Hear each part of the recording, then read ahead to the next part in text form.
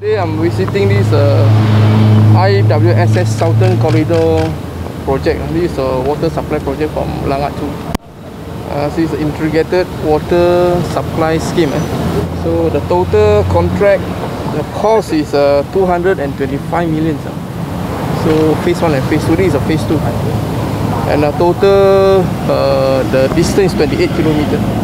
Uh, and the pipe diameter is 2 meter lah, length and the project expected completed by middle of 20, 2023. So this uh, to cater for the whole Kajang and Semenyih water scheme.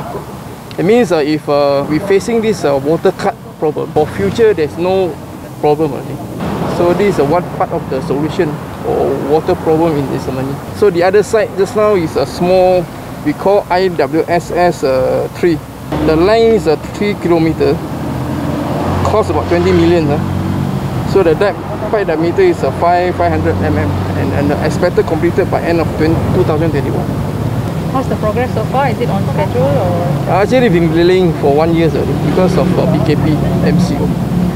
Supposed uh, to complete last year, but because of MCO for, for about one and a half year, so project, and they- they're also facing because of the existing site problem.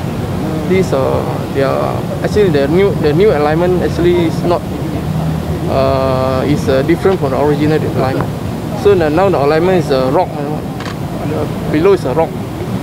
So they use how to make this uh, this uh, pouring, you know, this uh, take time, take long time, take about one year to complete. Only for this uh, about 400, 500 meters. So all this uh, funding by by developer. Uh, so once they completed, they were handing over to, to Iceland. Uh, we have uh, 18 developers. Those uh, develop, developers surrounding Semenyih and in and Sungai Long and BMC. So they all contribute together. So by right this, uh, you know this actually is a Langat 2 pro- project. Langat 2 project. huh? So I don't know why they, they actually they have to do it concurrently. Uh, the Langat 2 completed a few years ago. But until now the water cannot supply out because the existing piping still not checked in. So this problem now you have to expedite and, and finish it it at the end middle of 2023. 2023. And,